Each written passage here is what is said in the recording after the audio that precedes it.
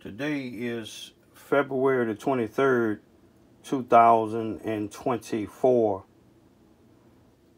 Uh, today is the 117th birthday of my mother's mother, my grandmother, Mary Wallace.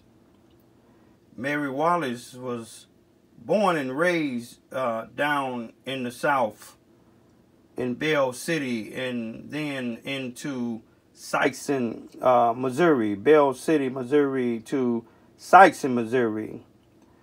Uh, Mary Wallace uh, in 1967, I think I was maybe about uh, nine years old.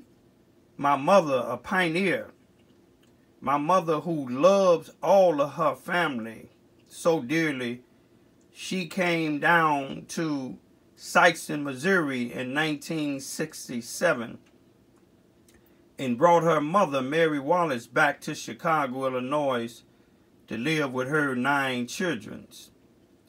My mother's mother, Mary Wallace, was blind, and her mother, Annie Shepherd, was taking care of her until she died. My great-grandmother, my mother's grandmother. I like to say happy heavenly 117th birthday to my grandmother, Mary Wallace. Those that don't know your history, February is a history for the Ivies and the Wallaces and all that's kin to both sides. I'm going to leave with this here.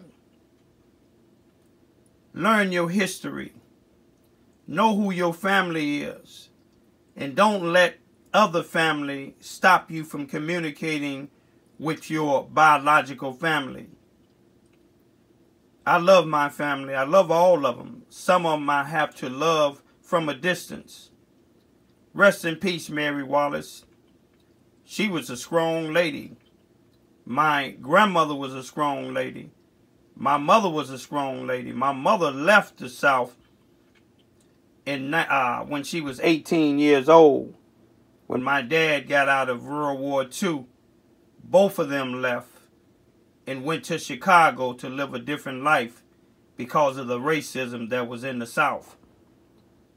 Here I am 28 years later, even though I was born in Chicago, Illinois, 28 years ago, I was tasked to come down here and fight against the racism in southeast Missouri. Rest in peace, Mama. Rest in peace, Grandma. I love both of y'all. Peace be still.